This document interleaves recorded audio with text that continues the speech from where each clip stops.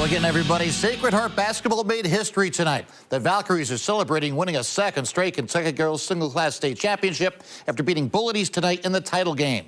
They now have six state championships overall, alone in first place on the all-time list. WLKY's Dominic Gates has more from Lexington.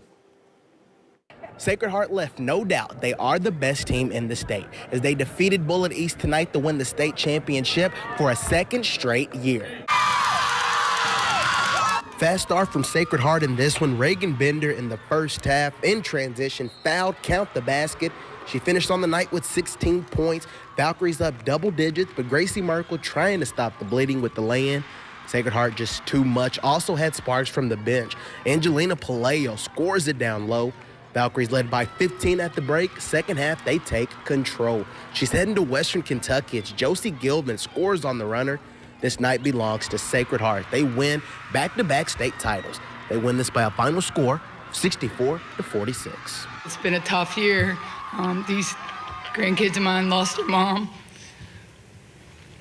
And um, from the very start, you know, they came up with T-shirts um, that said "fight," and we we delivered all year long. And um, it has just been so much fun. And so when you invest that time, uh, it is special. It's a special place, Bullitt East is.